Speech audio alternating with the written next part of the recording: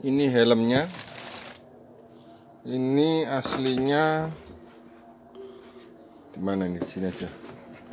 Ini aslinya warnanya orange. Ini sepetan ini cacatan. Pakai pilok.